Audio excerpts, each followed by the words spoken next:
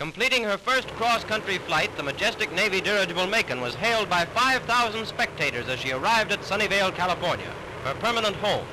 It was a tense moment at the base with the sky giant coming into land.